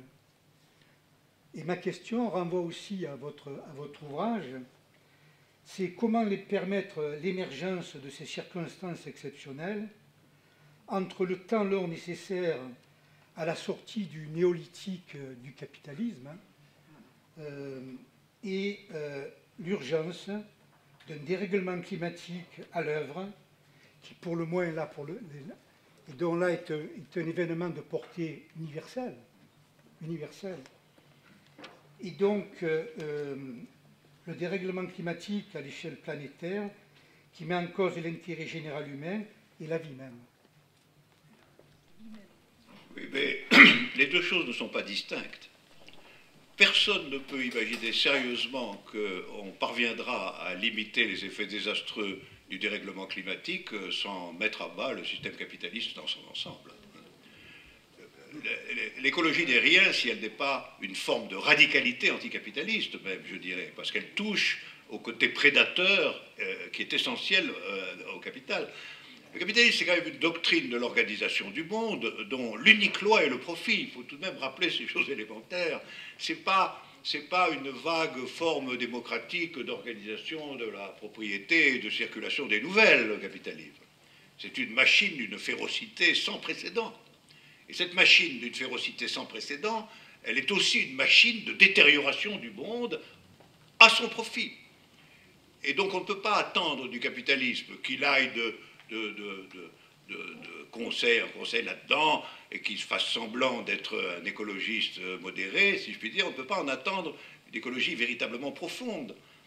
Parce que la prédation et la, la, mise en coupe réglée des ressources naturelles du monde, si elle est profitable, euh, euh, l'emportera. Elle l'emportera. Elle ne peut euh, ne pas l'emporter que si, d'une certaine façon, le, mécanisme lui-même est atteint, déréglé. parce que je, pense qu'il est tout à fait fallacieux de, monter, d'imaginer une opposition, en fin de compte, euh, sur ce point, entre écologie et anticapitalisme. Je crois que c'est absolument fallacieux. Euh, Je raconte une histoire. Je, faisais une conférence euh, dans la Maison de France de l'Université Columbia à New York, et euh, comme j'étais en Amérique, je tapais fort sur le communisme parce que ça, fait scandale. Vous êtes vu quand même comme le, le français un peu, un peu terrible là. Et, il y avait énormément de gens, des jeunes étudiants qui entraient, la salle était bourrée, on voulait leur interdire l'entrée, et alors ils rentraient par les fenêtres. Euh, alors on voyait leurs pieds comme ça dépasser. Et à la fin, la, la directrice de la Maison de France euh, commence par me dire formidable, succès sans précédent, etc., etc. Puis après, elle me dit, mais enfin, votre communisme, entre nous, je n'en crois pas un mot. Et je lui dis, mais pourquoi? Mais elle me dit, parce que vu l'état de la planète, nous n'aurons pas le temps. Et, moi, je lui ai répondu, ben, si, si, si la, chose concernant la planète est si imminente, euh, ça ne rend que plus urgent le renversement imminent du capitalisme. Sinon, euh, vous argumentez en la faveur d'une accélération de mes propositions et non pas d'un ralentissement. Mais ça, c'est intéressant parce que ça montre qu'il existe un usage réactif de l'écologie. Il ne faut pas en sous-estimer l'existence, qui consiste à l'ériger de façon en quelque sorte messianique comme une cause commune et au-delà des classes euh, concernant le salut fraternel de la planète, hein, avec euh, milliardaires et prolétaires nomades, même combat pour sauver la planète, bon, je le comprends d'un certain sens. Mais il faudrait qu'ils commencent par dire nous allons renoncer à, à, des conditions de l'extraction de l'uranium en Afrique, nous allons renoncer. Et ils ne renonceront à rien de tout ça. Ils ne renonceront à rien de tout ça. Parce que renoncer à, tout ça, ça vous met, du point de vue des normes du capitalisme, dans une situation ridicule de faiblesse. Parce que la loi absolue, c'est la concurrence. Donc vous êtes hanté par l'idée que si vous ne le faites pas, quelqu'un d'autre le fera, évidemment. Et c'est tout à fait vrai. C'est pour ça que les accords en la matière sont toujours remis en question, qu'on voit toujours surgir un courant politique qui dit on ne va pas le faire en réalité, etc. Et ça, ça ne fait qu'exprimer, euh, au niveau de la différenciation politique, le fait que le capitalisme, c'est la prédation universelle. Non, mais c'est un régime de bandits. Non, mais je, le dis descriptivement, je trouve qu'on on, ne fait pas assez de propagande sur ce point. C'est un régime de bandits. On le voit très bien dans les affaires scandaleuses qui se succèdent. Le mode de fonctionnement de l'oligarchie euh, capitaliste planétaire ne se, différencie en rien des modes de fonctionnement de la mafia. Ce sont les mêmes éliminer, les adversaires, installer la concurrence comme loi féroce, être, euh, constituer la prédation de tout, transformer en marchandise n'importe quoi. Ils n'hésitent pas, ils n'ont pas hésité, sous prétexte que le médicament contre le sida était une marchandise, ils n'ont pas hésité à laisser mourir 2 millions d'Africains qui ne pouvaient pas s'acheter le médicament. Et on a dit oui, mais les brevets, les brevets. Hein. Ce sont des assassins, tout de même. Et, donc on ne peut pas, on peut pas, trouver une cause qui, euh, euh, qui, générerait euh, une alliance transitoire avec eux. Ne pas leur dire nous allons sauver la planète et puis après on s'expliquera pour le deuxième round. Ça, je n'y crois pas du tout. Je n'y crois pas du tout. C'est une sous-estimation qui est devenue très grande à cause des échecs, à cause des difficultés, à cause des ignorances qui se sont répandues. il y a des raisons à ça. Nous en sommes aussi responsables, évidemment. Mais il y a une ignorance de la nature exacte de ce que nous avons en face de nous et de, sur quoi sont construites et bâties les lois du monde aujourd'hui. Ce sont pas. Euh, c'est vraiment des lois de la concurrence absolue, si bien que à supposer même qu'ils soient acculés à avoir des difficultés considérables, ils s'en sortiront par la guerre. N'ayez aucune, aucune, euh, aucune hésitation là-dessus. La guerre, elle est déjà là. Elle est déjà là. Euh, on sait déjà que les manœuvres des, des soviétiques et des chinois d'un côté, des américains et des occidentaux de l'autre, avec des lignes de front au Moyen-Orient, mer de Chine, tout le monde réarme. Euh, ça se fait dans l'indifférence générale, mais c'est très mauvais signe quand tout le monde réarme, quand tout le monde revisite son arsenal nucléaire, etc. Que, le, brave et pacifique Hollande, qui pour la spécialité de ne rien faire, euh, dit que quand même il y a une chose qui ferait, c'est maintenir la forte frappe. on voit bien quand même ces choses-là. Alors je, disais ça non, non, pas du tout pour disqualifier euh, la question de l'écologie et de la dévastation de la Terre est tout à fait réelle, mais cette dévastation, elle a un acteur. Elle a un acteur qu'il faut désigner et spécifier. Elle n'est pas, euh, pas une anarchie consensuelle euh, dont il faudrait sortir euh, en avertissant les capitalistes, vous savez, mes amis, vous allez détruire la planète. Ils s'en foutent. Ils s'en foutent. Votre intervention Maurice, là devant. Premier rang.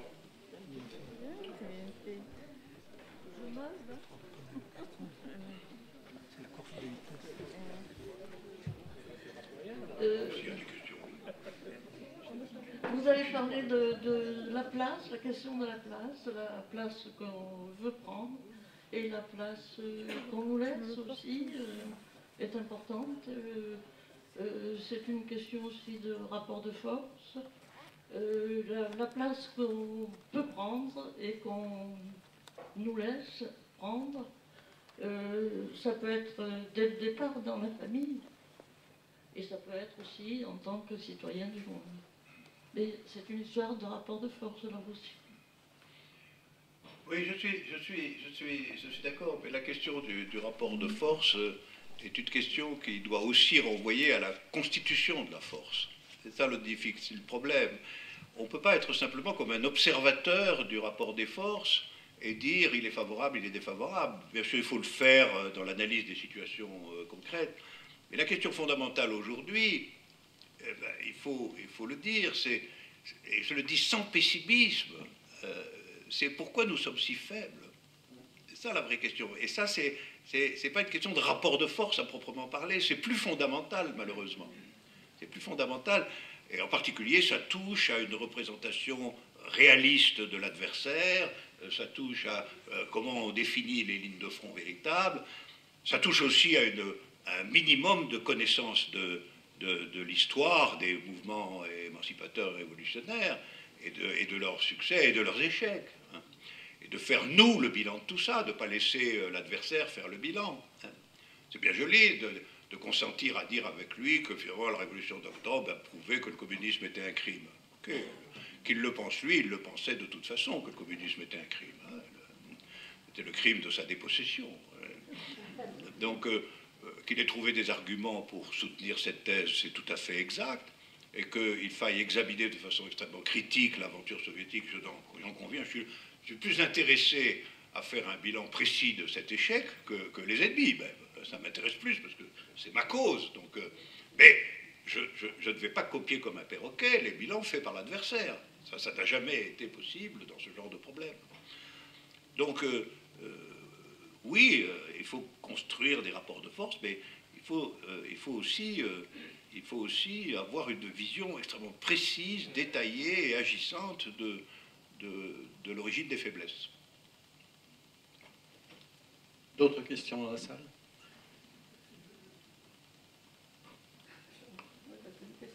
Christiane a oublié de vous dire quelque chose.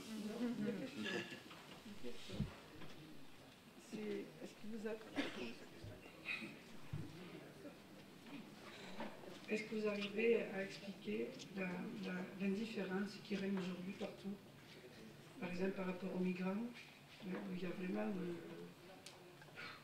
à part quelques endroits où vraiment il y a des gens qui agissent de manière merveilleuse, et dont on ne parle très peu à la télévision d'ailleurs, mais par rapport aux guerres, par rapport au réarmement, comme vous disiez tout, il y, a, vraiment une différence générale. Et on a, on a des médias, figure ce qui est, qui, nous, qui nous bouffent la cervelle. Quoi. moi, je ne regarde pas la télé, mais c'est comme ça. Ce qu'avait dit le lait, hein, on doit juste laisser un temps disponible pour la consommation, c'est tout.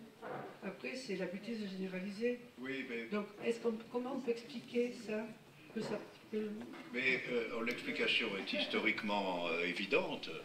Euh, en réalité, nous sommes tout juste après, quand même, un, échec fondamental des tentatives étatiques du communisme. On ne va pas cacher ce point. Hein. C'est quand même bien vrai. ni l'Union soviétique ni la Chine ne sont plus communistes d'aucune façon.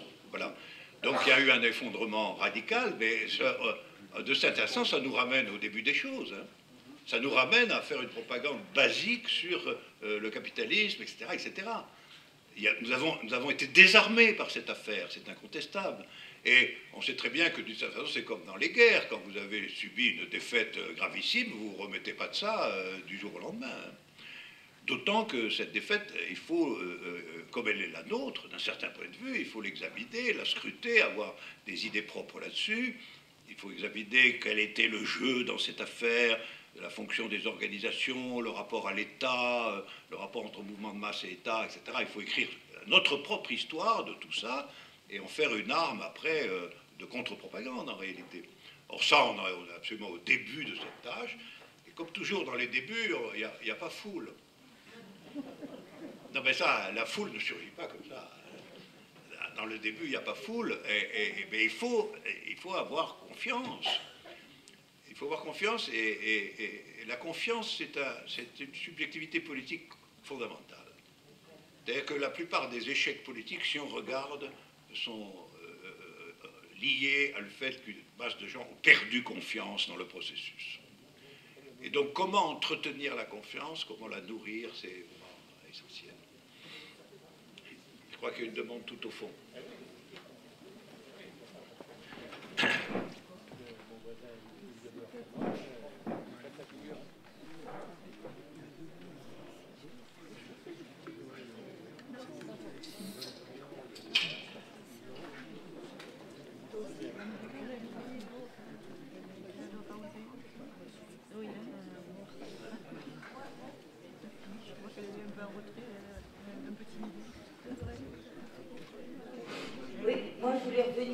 Notion de bonheur et, l'engagement politique.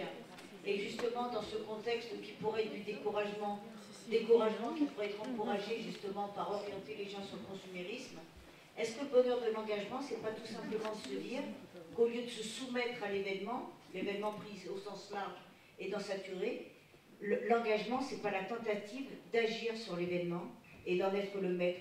Alors quelque part, il y a un sentiment de puissance, puisqu'on peut modifier, agir sur les choses, mais en même temps, est-ce que c'est pas de, cette possibilité d'agir sur l'événement que pourrait venir le bonheur?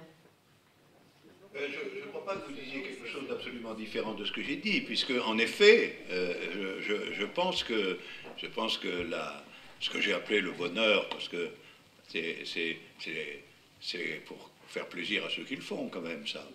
Ce que j'ai appelé le bonheur, c'est en effet à peu près ce que vous dites, c'est-à-dire comment euh, l'événement est en réalité traité, subjectivé, et ses conséquences organisées par une nouvelle subjectivité. Donc, tout, à fait d'accord avec vous. Mais justement, euh, euh, encore faut-il encore faut-il qu'on ait tiré les leçons de l'échec des événementialités antérieures et des, et des, sujets qui se sont constitués dans ces, dans ces événementialités antérieures. Et actuellement, euh, c'est d'autant plus difficile que même quand il y a des événements, leur fécondité est très limitée. Moi, j'ai beaucoup réfléchi, par exemple, sur ce qui a été appelé le printemps arabe, et en particulier l'affaire égyptienne. C'est spectaculairement circulaire. C'est le contraire de l'infinité euh, du processus événementiel. C'est-à-dire, il y a eu quelque chose d'admirable, de, de, absolument novateur, avec des, fraternités avec, entre les gens, des occupations de places massives, durables, la, capacité de ne pas se laisser intimider par l'effort de l'ordre, etc.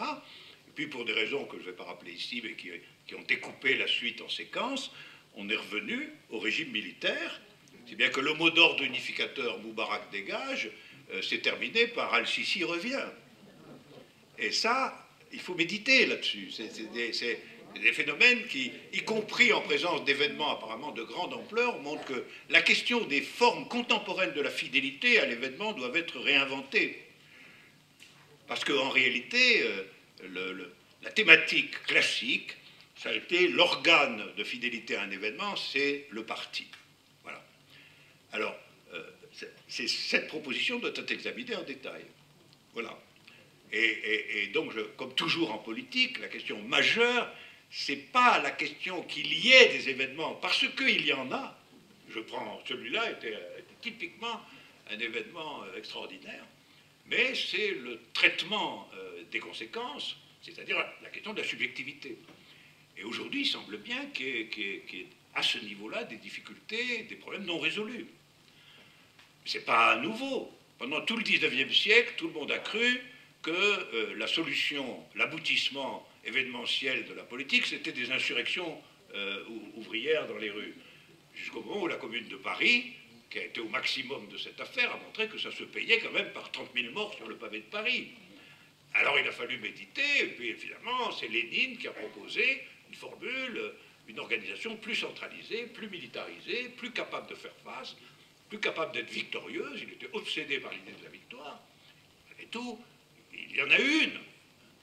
Mais maintenant, on est encore au-delà de tout ça. On sait bien que le parti, euh, dans l'héritage léniniste, excellent pour résoudre les problèmes de prise insurrectionnelle du pouvoir, ne s'est pas avéré formidable pour construire et édifier le communisme dans un seul pays. donc la question de l'organisation est ouverte. Et donc euh, ben, tout, le monde doit, s'y mettre, d'autant que la question de l'organisation, on peut toujours, toujours l'expérimenter à un niveau tout à fait local. Ce n'est pas simplement une vaste machine la moindre situation euh, dans laquelle on se propose d'échapper aux lois du monde pose aussitôt la question de savoir comment le collectif va fonctionner. Et ça, c'est la question centrale à l'ordre du jour du point de vue de la politique.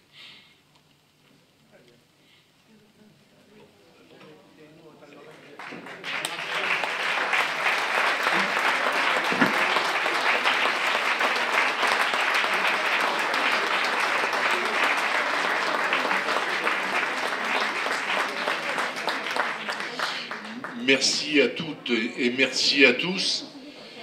Vous avez observé que je porte une épinglette sur le revers de ma veste. Il est écrit dessus, fais-le pour toi. Merci de votre présence.